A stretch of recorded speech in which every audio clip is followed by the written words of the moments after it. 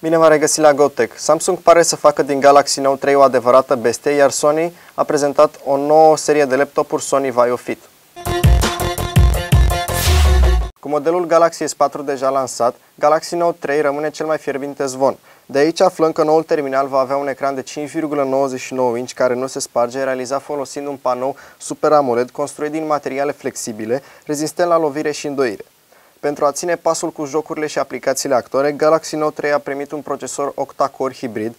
Din păcate, frecvența de funcționare nu a fost prezentată, însă ne putem aștepta undeva la 1,8 GHz, acesta fiind sub uh, limita superioară anunțată de Samsung, acest procesorul fiind ajutat de o memorie RAM de 3 GB.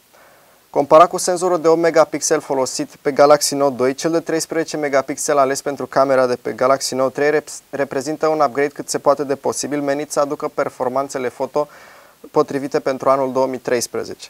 Sistemul de operare livrat ar putea fi Android 4.2.2 sau Jelly Bean 4.3.